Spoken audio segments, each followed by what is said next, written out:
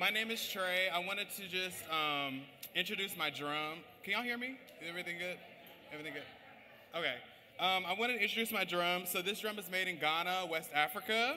Um, and this on, on here engraved are some Adinkra symbols. Um, so this one right here is called the Akofena. This is the swords of war. Um, and so I think I, I thought it was very appropriate to describe that today. And then on the back is the Akoben, and that's the war horn. So this is like the invitation to be ready to offer, offer your hearts, offer your spirits. And so um, I just wanted to first usher in the ancestors, um, the martyrs of Palestine and the Palestine Liberation Fronts, um, as well as the martyrs of Sudan, of Congo, West Papua, Haiti, um, and all oppressed people across the world. Um, I wanted to usher in El Haj Malik El Shabazz um, and Dr. Betty Shabazz, who space we're in today. Um, as well, I wanted to offer, uh, usher in one of our newest ancestors, uh, Baba Sekou Odinga, um, who just transitioned uh, January 12th, um, so just a few days ago. So I want everybody, can everybody just take a deep breath in? Release. Take a deep breath in again. Release. One last time, take a deep breath in and hold it. Release. So the song I'm going to be singing today is called Breaths by Sweet Honey in the Rock. Um, Dr. Bernice Johnson Reagon and Ysaye Barnwell, as well as all the other revolutionary phenomenal women that make up that group, um, have really given us a lot of offerings. And so I need everybody's interaction. So everybody is participating, everybody's gonna be singing. So for our lower voices, I just want you to sing, it's gonna be on a loop. So it's gonna be a lower voices part and a higher voices part. So, and it's not that hello, it's not that high. So the lower voices, I just want you to say,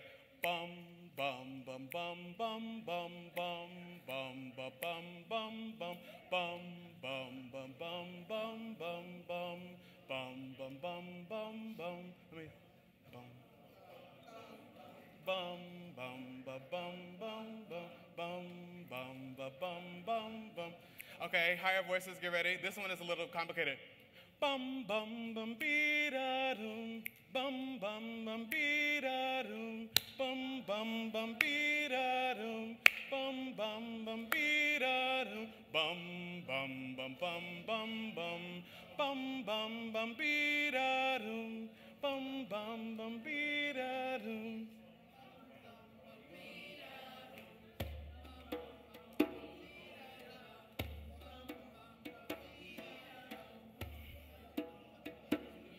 Y'all sound beautiful. Listen more often to things and to beings. Listen more often to things and to beings. Tis the ancestors' words when the fire's voice is heard. Tis the ancestors' breaths in the voice of the water.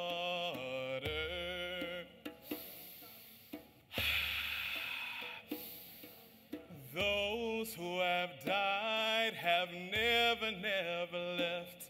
The dead are not under the earth. They are in the rustling trees. They are in the moaning woods. They are in the crying grass. They are in the moaning rocks. The dead are not under the earth.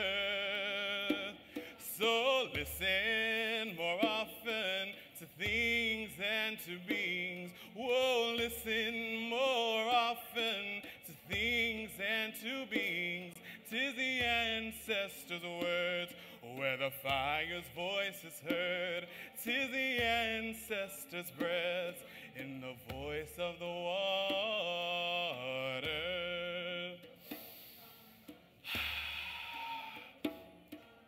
Those who have died have never, never left. The dead have a pact with the living. They are in the mother's breast. They are in the wailing child. They are with us in the home. They are with us in the crowd. The dead have a pact with the living. So listen more often to things and to beings. Oh, listen more often to things and to beings. Tis the ancestors' words where the fire's voice is heard. Tis the ancestors' breath in the voice of the water.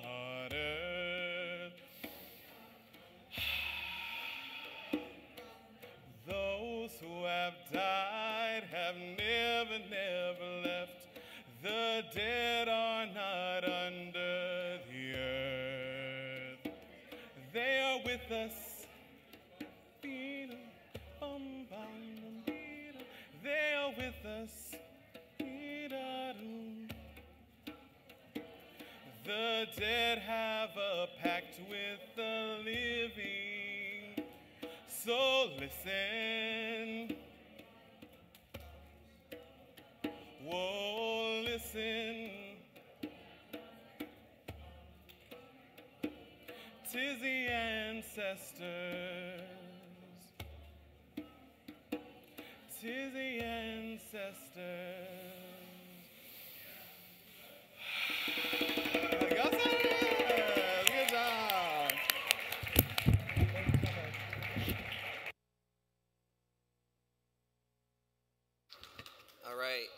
Give it up for Trey Legall. Round of applause.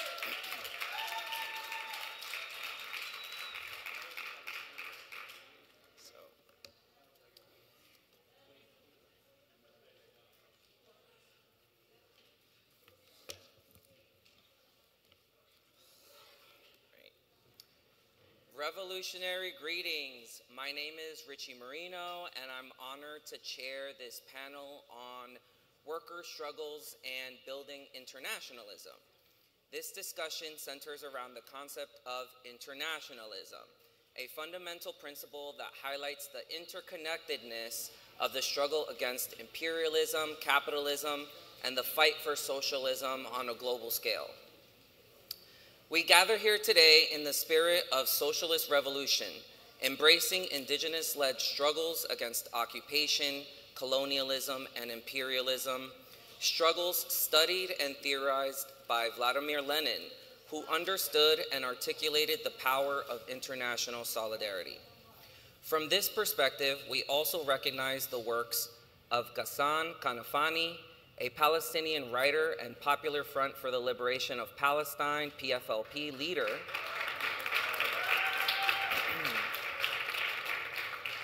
whose words struck fear into the hearts of European colonizers. Kanafani devoted himself to Palestinian national liberation, anti-imperialism, and internationalism. He wrote, quote, imperialism has laid its body over the world, the head in Eastern Asia, the heart in the Middle East, its arteries reaching Africa and Latin America. Wherever you strike it, you damage it, and you serve the world revolution. In the spirit of in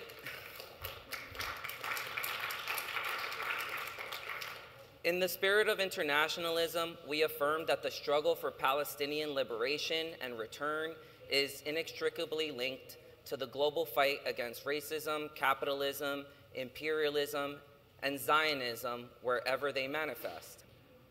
Today, I'm also representing the Bronx Anti-War Coalition. Yeah.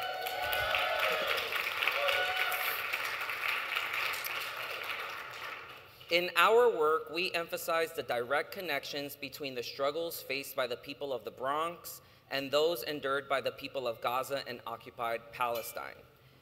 It is crucial that we recognize the profound similarities that bind us together, understanding that our, liberation is inseparably tied to theirs.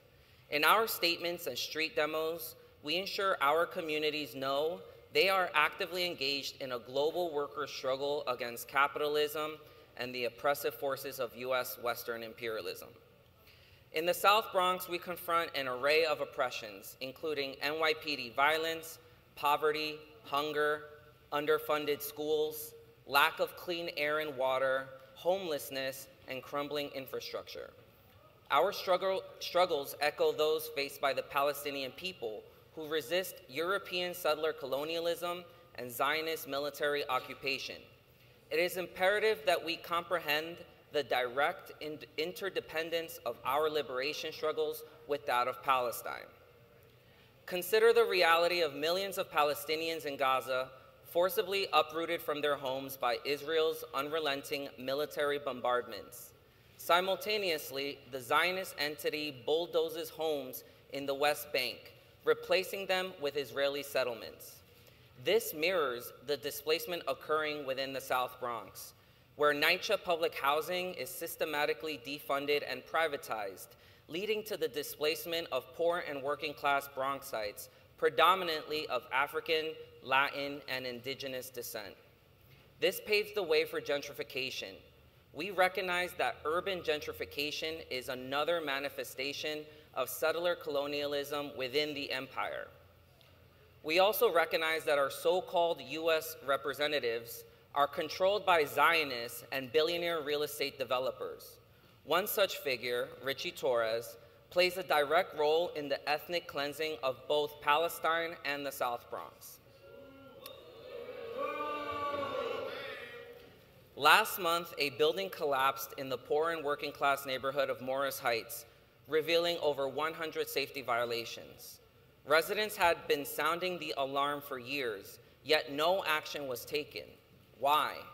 because servants of the US-led Western Empire like Richie Torres prioritized funding indiscriminate bombing and the destruction of Gaza, displacing millions of Palestinians over investing in housing for working class Bronxites in his own district, one of the poorest congressional districts in the US.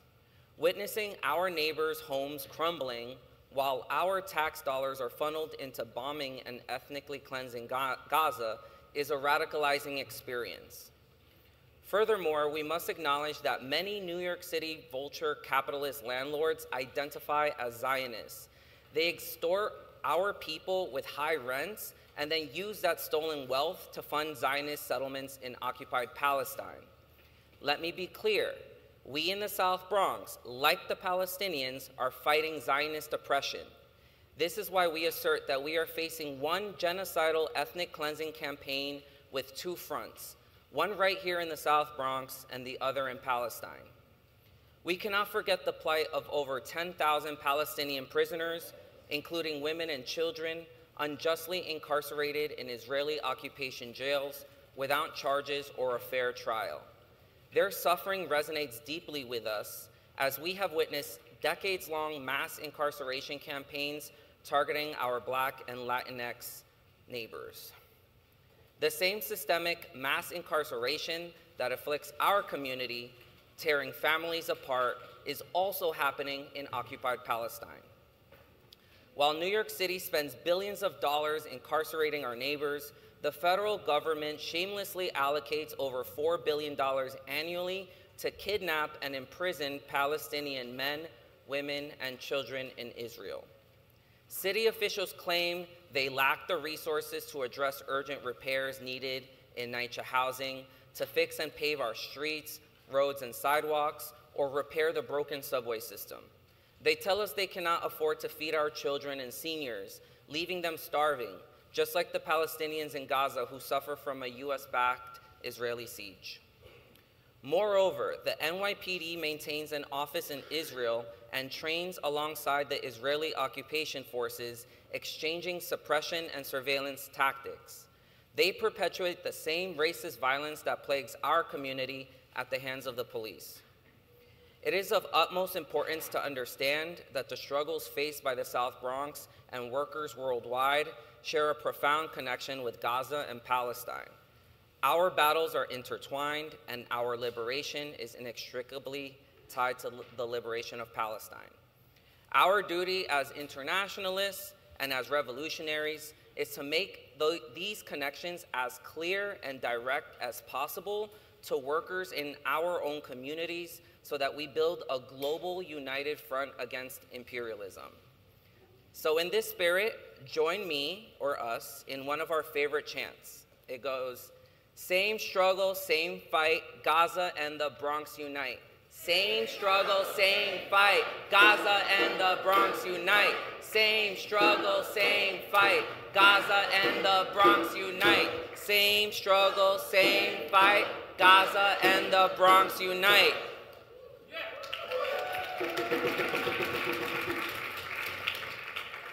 Death to imperialism, long live proletarian internationalism. Thank you, comrades.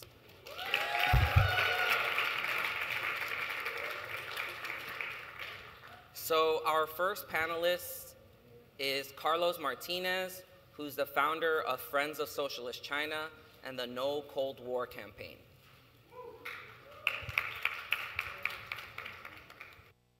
Dear comrades and friends, it's a great honor for Friends of Socialist China to be invited to contribute to this International Assembly Against Imperialism in solidarity with the Palestinian resistance and coinciding with the 100th anniversary of the death of Vladimir Ilyich Lenin.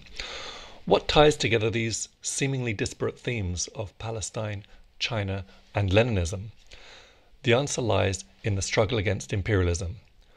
The original slogan of the communist movement, Workers of the World Unite, the rallying cry and final phrase from the Communist Manifesto, written by Marx and Engels in 1848, was put forward at a time when the nascent communist movement was geographically limited to Europe and North America and focused almost exclusively on the industrial working class. Lenin's study of global political economy, and particularly of the dynamics of monopoly capitalism and the emergence of modern imperialism, led him to an acute understanding of the expanded global applicability of Marxist thought.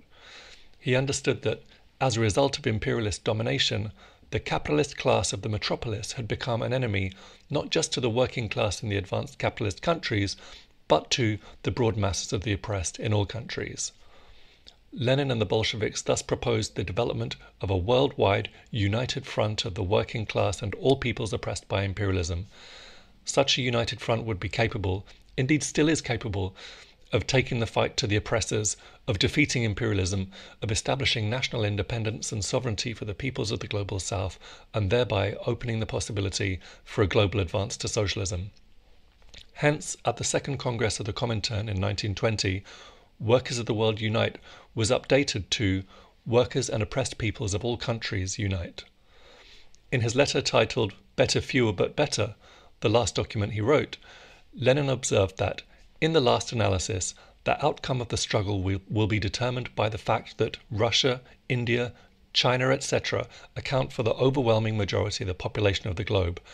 And during the past few years, it is this majority which has been drawn into the struggle for emancipation with extraordinary rapidity, so that in respect there cannot be the slightest doubt what the final outcome of the world struggle will be. In this sense, the complete victory of socialism is fully and absolutely assured. The Chinese Communists, of course, played a crucial role in developing this ideology and applying it in practice. The overthrow of imperialist domination and the construction of socialism in China, Korea, and Vietnam represented a profound shift at the revolutionary center of gravity in the world towards the East and the South. The Chinese benefited enormously from the solidarity of the Soviet peoples. Mao Zedong stated in 1949, just two months before the proclamation of the People's Republic, that it was through the Russians that the Chinese found Marxism. The salvos of the October Revolution brought us Marxism Leninism. The October Revolution helped progressives in China, as throughout the world, to adopt the proletarian world outlook as the instrument for studying a nation's destiny and considering anew their own problems. In turn, China has been and remains a bulwark against imperialism, standing in solidarity with the global south. China's history of support for the Palestinian national struggle, in particular, goes back to the 1950s. As Xi Jinping has put it, no matter how the international and regional situation changes, China always firmly supports the just cause of the Palestinian people to restore the legitimate rights and interests of their nation and always stands with the Palestinian people. China sent its first aid to the Palestinian people in 1960, and when the PLO was founded in 1964, China became the first non Arab country to recognize it. The first Palestinian fighters were sent for military training in China in 1965. China was also one of the first countries to recognize the state of Palestine on 20th of November 1988. Indeed, Yasser Arafat, chairman of the PLO from 1969 to 2004, stated in 1970 that China is the biggest influence in supporting our revolution and strengthening its perseverance. Premier Zhou Enlai wrote in 1967 Wherever there is oppression, there is resistance. Wherever there is aggression, there is struggle against aggression. I believe that having taken up arms, the revolutionary Arab people of Palestine and the entire Arab people will not lay down their arms and, like the heroic Vietnamese people, will fight on unflinchingly, resolutely, and stubbornly until final victory. Today, China is among the loudest voices calling for a ceasefire in Gaza and insistently calling for the restoration of the legitimate national rights of Palestine and for the establishment of an independent state of Palestine with East Jerusalem as its capital and with the right of return. The heroic Palestinian resistance has put the issue of Palestine back at the center of global politics. Meanwhile, the shift towards a multipolar world and away from US hegemony is creating favorable conditions for finding a lasting and just solution. Even as we witness the horrors of Israel's genocidal assault on Gaza, we remember the words of the great Paul Robeson that the people's will for freedom is stronger than atom bombs. The brave Palestinian people, with the solidarity and support of freedom loving people around the world, will surely win their liberation. Thank you very much.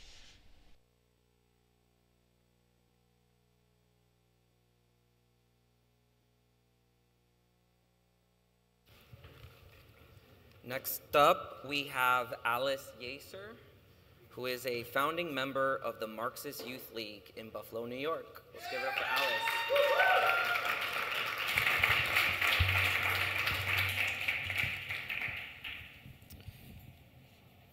Good afternoon. How you doing? Good to hear. I hope to present to you what I think is an original contribution to the political dialogue by working class and oppressed youth. The Marxist Youth League, as an organization that strives to mobilize the younger members of our class, finds the works and contributions of Lenin to be of vital importance. The youth of today are bittered and frustrated. We currently face a great stagnation of wages, higher costs and necessities, lack of affordable housing, saying nothing of the great mass of predatory student loans that collect like raindrops in a basin. And for those who are oppressed on the, base, uh, on the basis of our gender, nationality, queerness, or disability, we face even greater hostility in every aspect of life under capitalism. Our dreams, once occupied by ideals of security, fed to us by institutions beholden to capital, and by family and friends who have bought the lies of capitalism, have become disillusioned by a socio-economic order that seeks our uh, subjugation. As the contradictions between labor and capital intensify, we grow more desperate for answers and solutions. So we've turned to Lenin. We've learned from Lenin the cause of our woes and how to permanently better them. We've learned to reject every appendage of capital, every parasitic tendril sent down into the bellies of our neighborhoods, our schools, our workplaces. From our desperation and from our struggle, we aim to emerge as a full fighting force for our class. A note must be made about the ongoing genocide of Palestinians. Many of the slaughtered were young people. That's true, and you all know this. But prior to the genocide, the average Gazan was said to be 19. We've seen countless clips of lifeless bodies of infants and young children. However, what is not impressed as harshly enough from all the coverage is that the resistance is also made up of brave, young fighters who dare hold rifles to the tanks and jet planes of their oppressors. In the case of the resistance at home,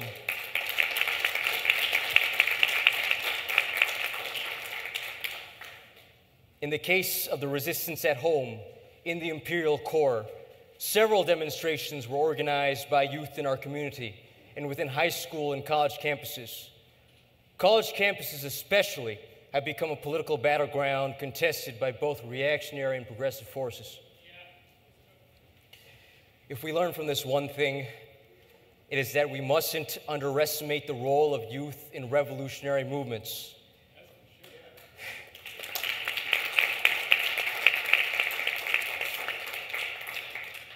As youth engaged with the sciences of Marxism Leninism, we are a danger to the ruling class. We hold the future in our hands, and there lie tremendous tasks before us. The current order of capitalist domination and exploitation is untenable, and it cannot be allowed to ruin us.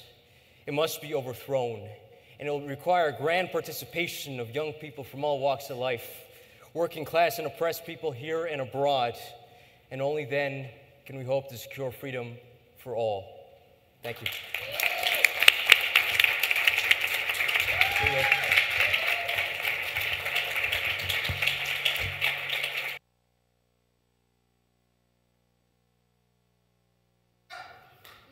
Next up, next up we have a video message that's sent from Ukraine. Leonid Ilderkin, who's in the Ukrainian Communist Party and the Union of Political Refugees and Political Prisoners of Ukraine.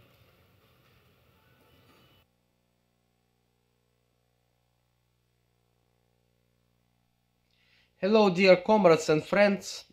My name is Leonid Ilderkin. I'm member. I am member of uh, coordination council of the Union of Political Immigrants and Political Prisoners of Ukraine. On behalf of our union, I sincerely greet the event held uh, by Workers' World Party and the Peace Movement of USA dedicated to uh, commemoration of 100 years of Vladimir Ilyich Lenin that uh, passed away 100 years ago. There is a lot to say about our struggle against the Kiev regime. Uh, history will tell a lot about it because it is it has become already much of history since more than 10 years already passed uh, from the beginning of the coup in Kiev, in capital city of Ukraine, when it began in uh, December 1st of uh, 2013. Now it is uh, already January of 2024. So more than 10 years. During all of, all of this struggle, we combat the worst type of uh, political activities of uh, capitalism. This is called uh, ultranationalism and uh, Nazi, Nazi and fascist dictatorship. And now it is in Ukraine in its uh, extreme forms. But we are very happy that we are not alone in this struggle. What unites us today and after and before. Is not only commemoration of the of uh, Lenin and uh, ideas of Lenin and Karl Marx and other uh, activists and political figures who were uh, who had efforts for the liberation of humankind. But also also what unites us now is our actual struggle. Be besides organizing the union of political immigrants from Ukraine and political prisoners of Ukraine from 2014 we organized later uh, with the help of our supporters from abroad we organized later the uh, community of activists which is called for us Red Square Club and abroad it is called a Molotov Club. This community of activists from different continents, from different parts of the world, support the stand against Ukrainian Nazis and against NATO and against neo-colonialism and against war. And the war is now progressing, unfortunately, in many parts of the world. Not only there in Ukraine, we have very heavy uh, civil conflict, which is now the full-scale conflict. But no, uh, now we have situation of conflict in Palestine, in Gaza. We have also uh, recent attacks of USA and England and Great Britain against Yemen. And we see that imperialism does want war to save capitalism, to save uh, the situation of capitalist crisis. Recently, actually one week ago, one of our members, members of uh, this club which I mentioned, Abul Hussein from Bangladesh, from Workers' Party of Bangladesh, head of uh, the um, Workers' Party organization in the capital city of Dhaka, and also head of one of unions of trade unions of Bangladesh. And you know how much important is Bangladesh because they produce fabric for many uh, for the uh, for the whole world. He uh, had initiative of the uh, World's Peace Conference.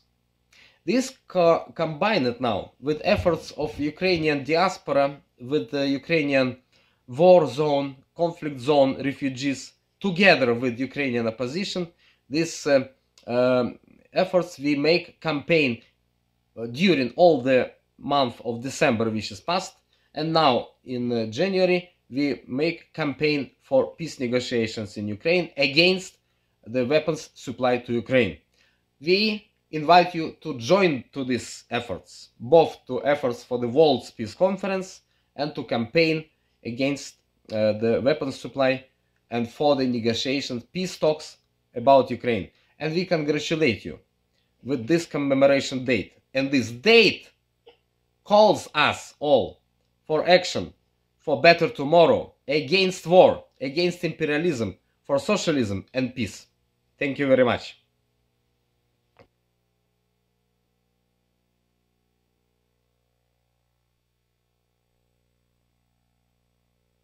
Next up, we have a statement from Carlos Lopes Pereira, who's a journalist for the Portuguese Communist Party newspaper Avante, former member of the Secretariat of the African Party for the Independence of Guinea and Cape Verde. And the statement will be read by Janice Miles.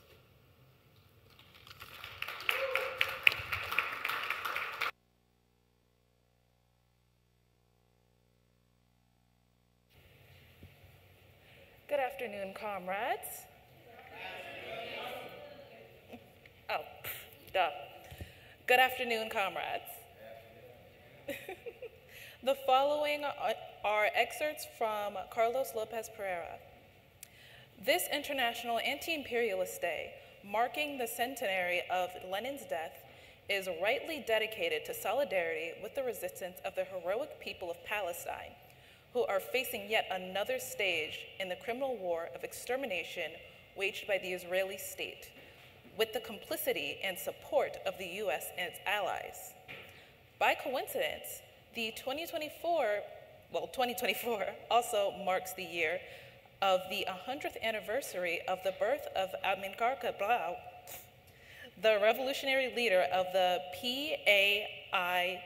PAIGC, African Party for the Independence of Guinea and Cape Verde, who organized and led the victorious struggle for the national independence in both countries from the mid 1950s until his cowardly assassination in 1973 by agents of Portuguese colonialism. Faced with the colonial fascist dictatorship's refusal of a peaceful situation, Cabral began the armed struggle of the people of Guinea in January 1963 and clandestinely organized the PAIGC in Cape Verde. On the 24th of September 1973, in the Boe Forest, in the liberated areas, a National People's Assembly elected in the middle of the war proclaimed the birth of the Republic of Guinea-Bissau.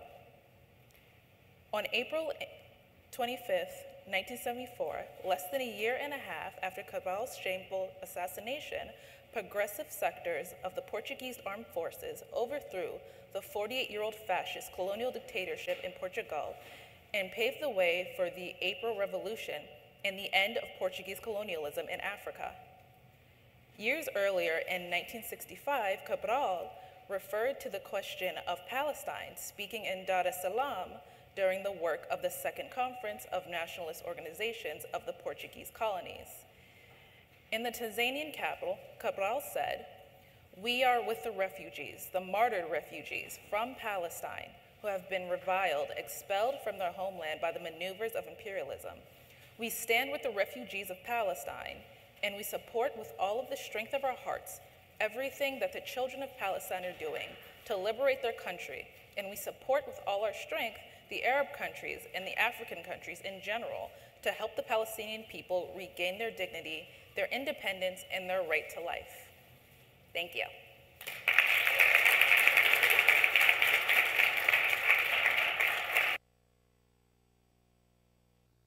Next, we're going to listen to a message that was sent to us by Provash Ghosh, who's the General Secretary of Socialist Unity Center of India, Communist.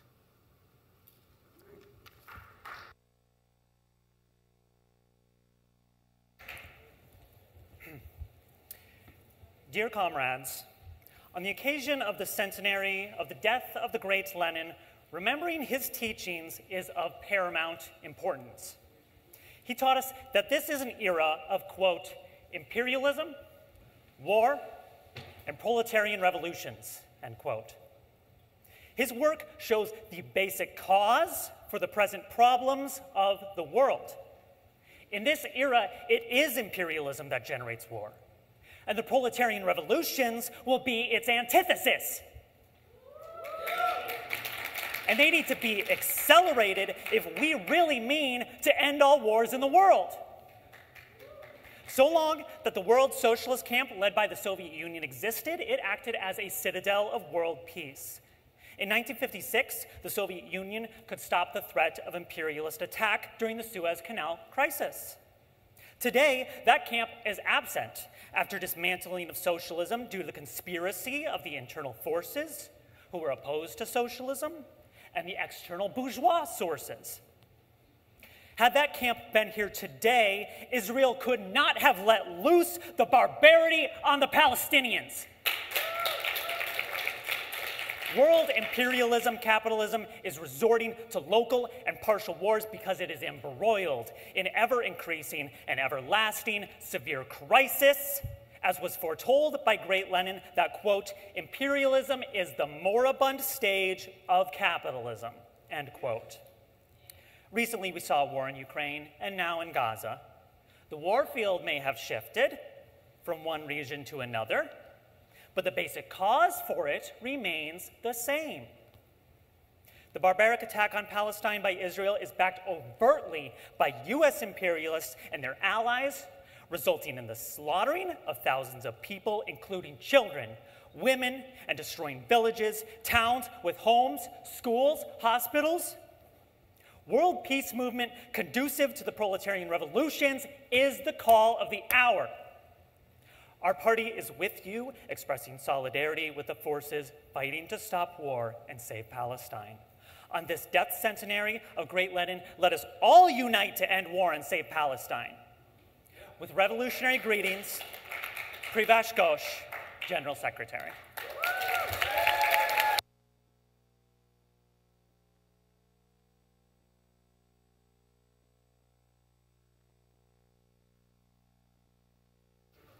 Next up, we have Chris Helali, who is the International Secretary of Party of Communists USA, coming from Vermont.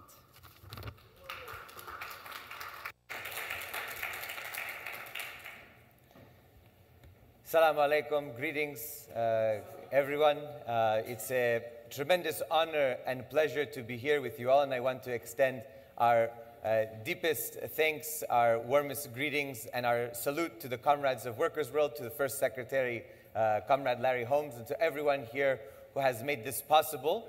Um, and of course, uh, we are on sacred ground. We're on, uh, you know, thinking back to uh, growing up in, in a family, a Muslim family, and thinking about, of course, Hajj Malik, of course, of Malcolm X, and to be in this room here uh, is deeply spiritual, especially for us Shia who have uh, in Iran and, and throughout the world have a, a, a, an understanding of martyrdom, an understanding of those who have been killed, and the slogan that uh, every day is Ashura, everywhere is Karbala, uh, thinking about Imam Hussein. So, thinking also about the, the martyrdom here. I want to. Please. I don't think uh, my words will do as much justice as the words of uh, Palestinians themselves.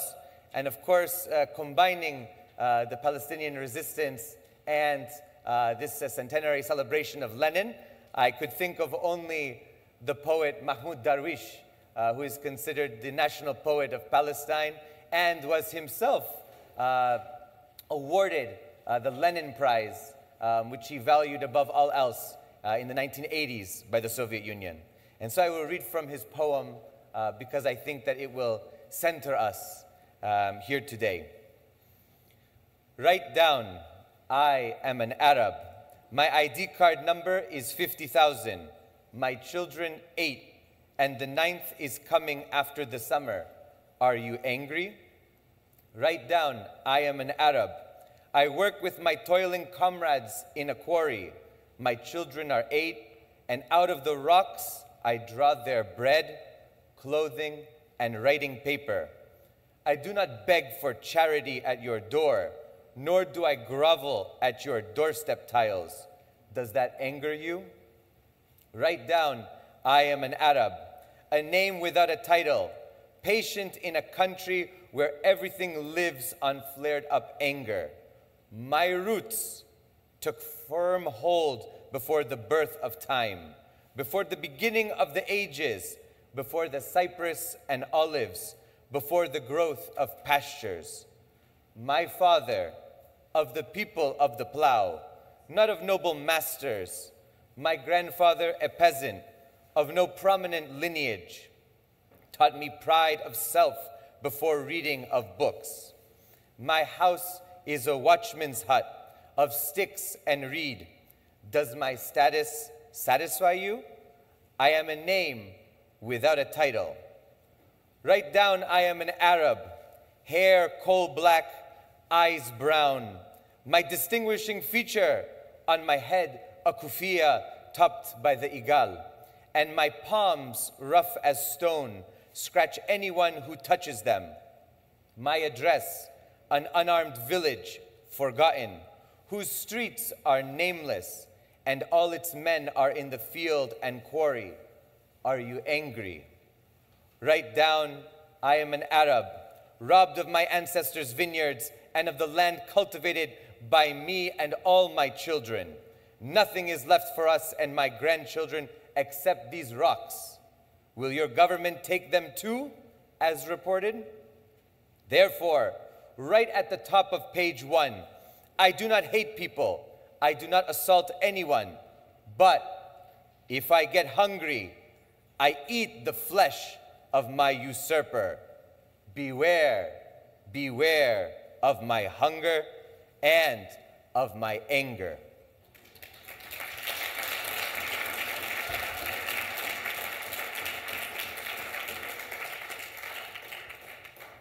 Celebrating 100 years since the passing of Comrade uh, Vladimir Lenin is an important milestone. It's an opportunity for us to regroup, to rethink, to criticize and self criticize, and to rebuild and keep the struggle going. And so, after a century under the banner of Lenin, I believe that the next century will be under that banner. And that banner that banner, that banner is not only the symbol of Palestine, it is the symbol of all oppressed people. You see it everywhere throughout the world.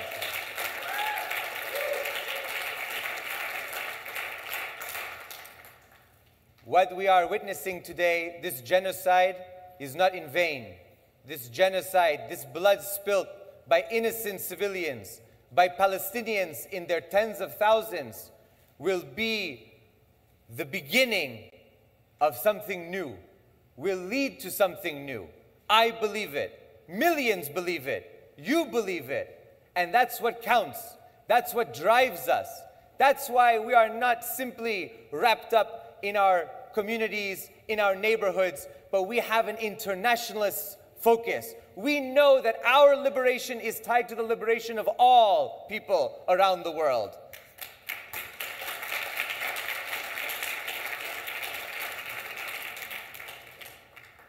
My time is limited, and I want to emphasize these past decades, Workers' World Party has done something that very few could do or did do in the United States.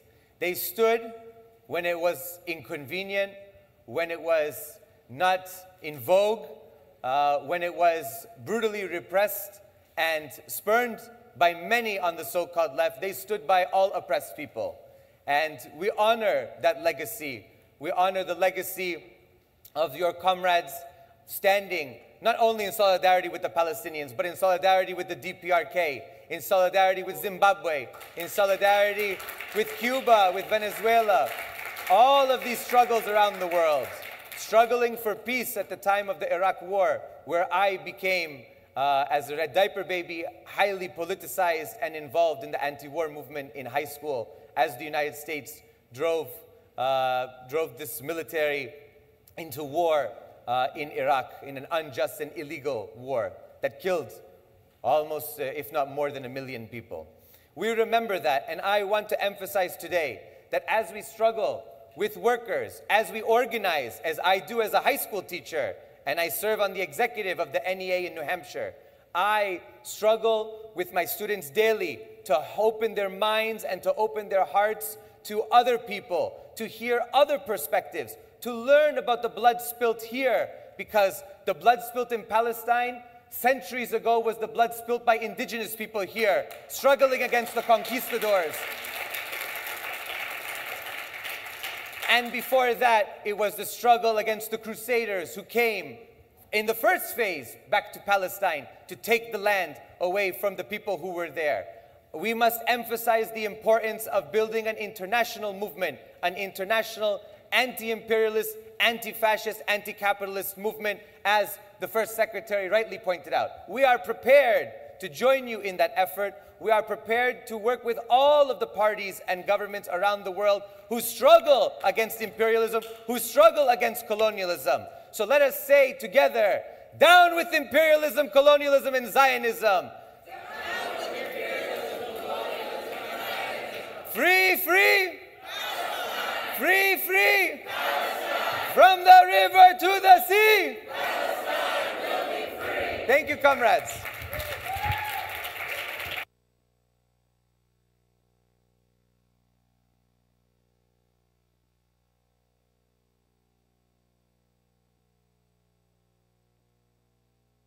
Next up, we have a message that has been sent by Sergio Rodriguez Gelfenstein, who's the former director of the international relations of the presidency of the Bolivarian Republic of Venezuela and the former ambassador of Venezuela to Nicaragua, and the statement will be read by Marina Samuel.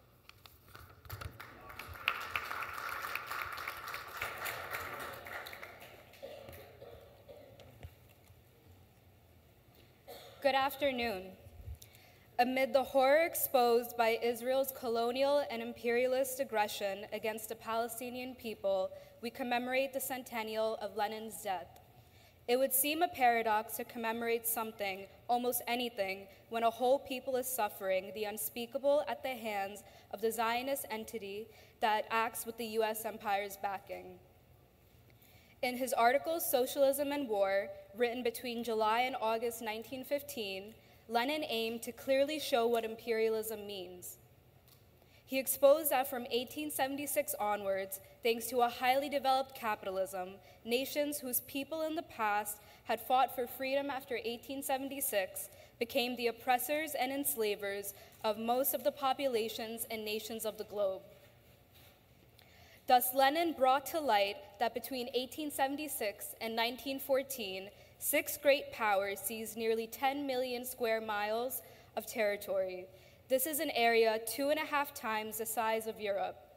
Unfortunately, more than 100 years later, this domination continues, either directly or masked by new forms of rule. The current situation in Palestine is one that most crudely exhibits the situation. But it is not the only one in all the regions of the planet where the specter of colonialism continues to make its presence felt as a brutal expression of imperial control. Already in 1915, Lenin pointed out that everyone knows that the colonies have been conquered by blood and fire, that their inhabitants are barbarously treated and exploited in a thousand ways. The presence on the planet of the colonial regime Lenin denounced more than 100 years ago is an affront to humanity. To that extent, to fight for this regime's extermination and disappearance remains a present task. In this way, we will be able to pay homage in some way to that of the, of the outstanding leader of the workers who, with his ideas and actions, showed us the way to liberation and to a better world in which there are neither exploiters nor exploited, nor colonizing powers and colonized countries. Thank you.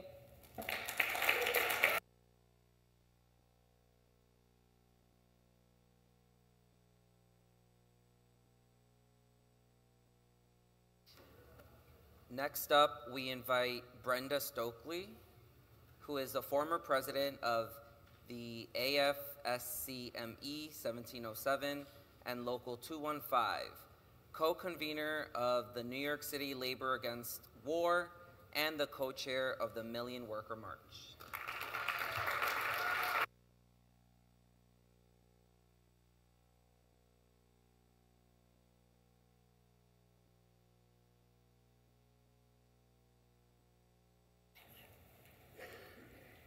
As I look out here, the first thing I see is my brother.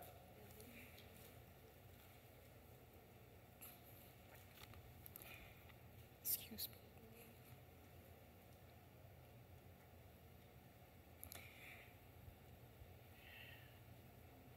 And he both empowers me, but also makes me mad, more mad than I've ever been growing up in this country. This is a country that everybody around the world expects for us to do the right thing. And the right thing is all the things that people were talking about today. The right thing is, yes, the young people are going to have to take the load of some of this. But we have to also take a load, those of us who have more decades on, to be able to bring to people some of the things that they need to know, and also some of the things that we did wrong and some of the things that we did right.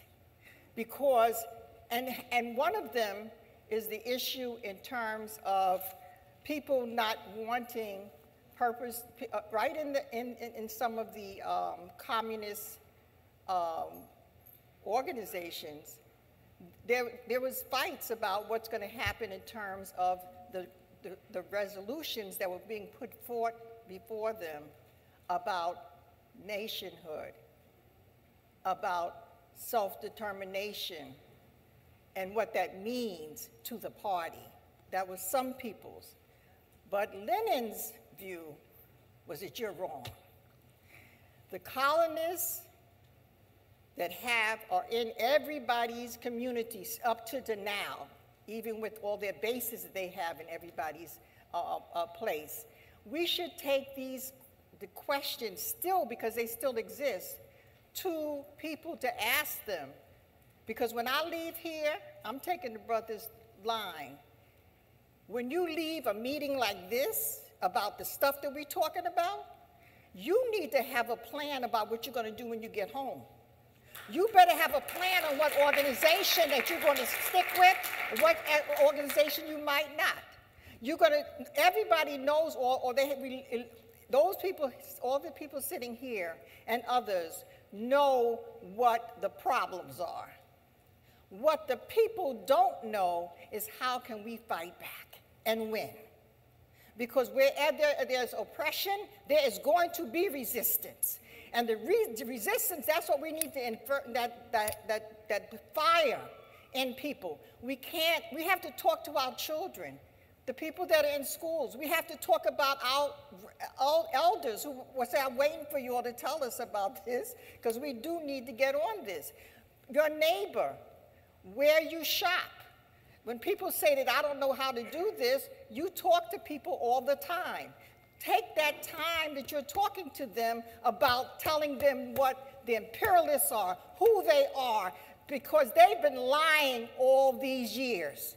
We need to have our own instruments to be able to get all of the truth out there. And we do need to be united because they know what works, the, the, imperialists. It always works. If you can get people uh, um, separate from each other, whether it's in the workplace or whether it's in school or whether it's anywhere in this country, that they're trying to always come out with somebody that they could blame their stuff on. So it's always somebody else that made this happen. Somebody else's foolishness to even think that certain, these things should be been, been addressed, addressed to you. So we need to do that. And I, I came here with a different piece to say, but I'm not doing that to myself or to you.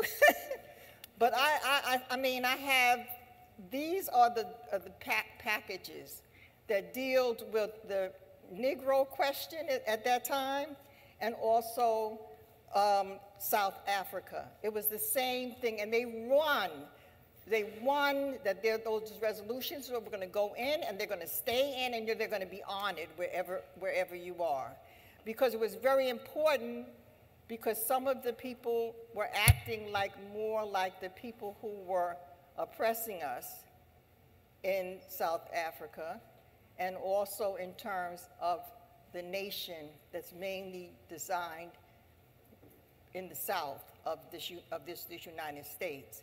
So we have to go back to some history, but we also have to come up with new ways and better ways to get to people and to talk to them. I mean, a lot of times people are using films now to take some of the young people back that weren't there when something happened. And, they, and one that sticks in my mind was when some uh, professor showed um, some young high school students about the civil rights, um, um, I'm sorry. No, the, it was the one when they, when they took the, chil the children's march in the South. And they had never heard about that. And just to say, most people don't because they're not giving them that information in school. They want to now burn all the books and everything. But so they sat there, and at the end, they said, Those children are the same age we are. And we said, Yeah. And she said, And they did all of that? Yes. She got up, she said, Well, we can do it here. And they organized the, uh, the walk here, the, over the, up in Brooklyn from over to um, the city hall. The thing is, I'm trying to not do it too, I'm not 78, give me a little break. I don't, can't pull all my words together as I used to. But the point that I'm trying to get to is that we are going to fight and continue to fight, whatever ages we are, and we are going to be successful. But we can't leave meetings like this without a, a plan for what we're going to do when we leave here uh, and who are we going to talk to? I was in one of these kind of gatherings, and somebody got up and said, okay, who, when we leave here, whose house is you going to? Who's, when you make your phone call, who are you going to call? What you going to talk about? You know, and, and, and this works because people start out with organizing by going to the leaders or, that, are, that are in the place. You don't need to be there, but if you're in a, in a, in a workplace and you are the ones that somebody always comes to to try to get help when things go wrong with the bosses, you're the one that should be organizing there. So you go around and you find those kinds of people, and, and that's in every community. Any community you go, there's people like that. And so that we have to span it out. We can't just leave it in a hovel because we know what was in the papers that Lenin wrote. We have to take it to the people that don't know what they said, he said, or who he is, and then tear down the, the, the way that communism and imperialism is thought and put in the minds of the people, we must change that. And one way, when I first started with knowing about all of this, I had to go and find more information. And I had to not be afraid that somebody's going to call me a communist or a socialist. And I never, never kept that away from anybody. Never.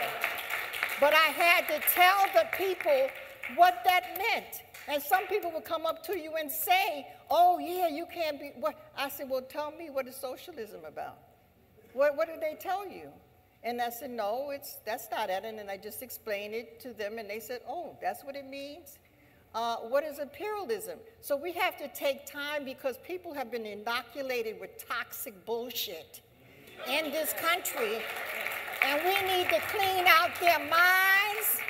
And that's why that brother makes me cry. What he say, take the chains off your, of your head. That's the first place. So we have to encourage you. Don't be afraid. Don't think that somebody's going to do something to you because you talk like that. Now, you know there's some snakes in everywhere, so you don't tell them about it, but you tell, you tell, we have to do this. And it doesn't, anything that all the people, Harriet Tubman, all these people, how did they do it? They just damn did it.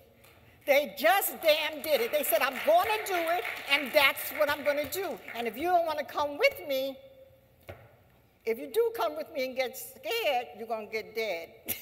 so we have to, eh, eh, eh, people have to know the heroic people and what they did, not to just get, give them plateaus, oh yes, that's wonderful, but it's because it tells you you can do it yourself. And it's not on one person. We don't have no messiahs. You put your foot down on the, on, the, on the ground and you march with everybody else and you organize with everybody else. You don't leave it for somebody else to do it. That's not the kind of movement we're talking about. Because even if you do it, you're not going to last very long. Everybody has to be a leader. Everybody has to be a communist. Everybody has to be against the, the, uh, uh, the this whole country the way that it's built. And everybody needs to deal with the issues in terms of that we don't want to talk about of, of color, of racism, you know, because all of this is like trying to say one group of people are better than us, and therefore we could kill them, we can go to their cemeteries and dig them up, you know, we can do anything but the right thing. So we need to find out radio stations, more radio stations in your community, get online with them. Everywhere we should be around to get all the messages up because to the times ain't going to do it for you. Thank you.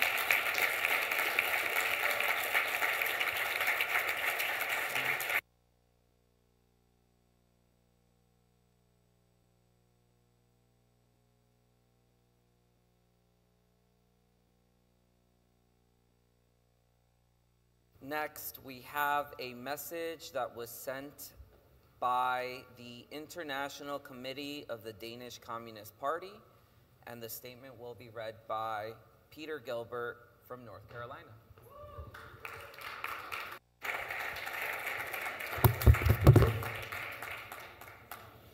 Good evening, comrades. Uh, this is from the International Committee of the Danish Communist Party, a party with a strong record of combating Islamophobia in Scandinavia and protesting US and NATO bases in Denmark. As a small imperialist country, Denmark has a precarious position. The Danish ruling class and capital has been forced to rely on alliances with greater imperialist centers for survival since the age of mercantilism. Today, those alliances take the form of a transatlantic alliance as well as the European Union. Internal contradictions between the NATO US bloc and the EU have grown in intensity and keep growing. The more Western imperialism is losing its unipolar status in the world. For Denmark, we as communists and anti imperialists have seen and protested an increased focus on the US alliance. Denmark is now on track to, spend 2% of its GNP within a few years. Some of this increase comes in the form of old weapon systems, tanks and fighter planes, taken out of storage and supplied to the front in Ukraine.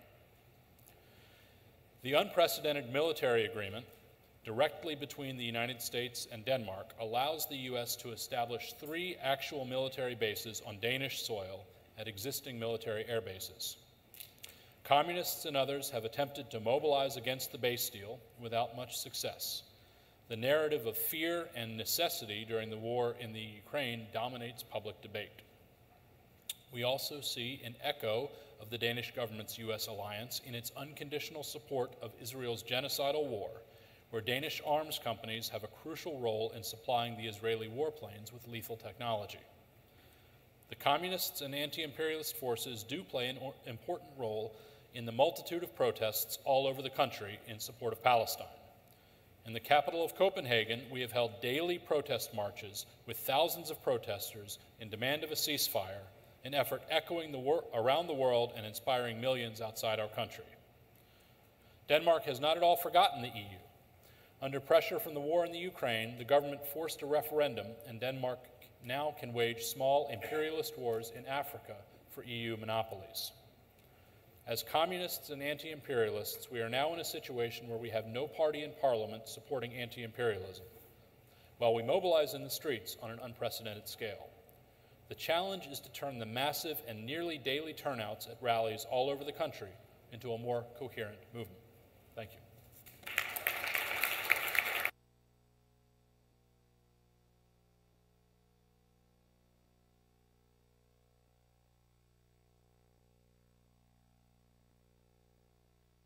So last but certainly not least, we have a video from Booker Ngesa Omole who is the Vice Chairperson and National Organizing Secretary of the Communist Party of Kenya. The main issue in our country is that the politicians continue to divide the Kenyan population on illusions. This country has only two tribes the haves and the have nots. The war we have in our country is a class war and not a tribal war or a religious war or a gender war. It is a war where people are fighting to survive, but others are fighting to keep people poor so that they can continue to exploit them. President Ruto administration, instead of retaining subsidies to cushion the poor people, actually lifted the safety nets. And on the same age, the Kenya Kwanza government applied a raft of loans from IMF and World Bank. While on the same issue, at home, increasing taxes and lying to the Kenyan people that increasing taxes will basically reduce public borrowing from IMF and World Bank. So the fundamental thing is that those demonstrations were anti-interference of Kenyan domestic policy by two rogue financial institutions, which is IMF and World Bank. We reject the current consensus that is being built around the ruling class. We see that the Azimio-led alliance and the Kenya Kwanza government have started a bipartisan talks. Who is leading the bipartisan talks? We've heard President Ruto is talking about the intervention of the United States.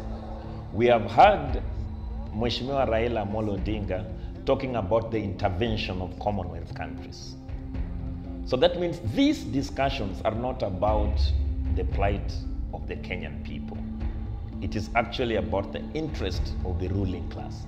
The problem is not an individual problem. Even if we had another president, the problem will persist. Because for us, we see the problem as a systemic problem we think that the neo-colonial system where the white British minority, the so-called settler colonialism, left our countries but left the same colonial structures. So we replaced the white person with a black oppressor. So until we break the neo-colonial system, until we break this capitalist system that continues to dominate our country, the problem will continue to persist.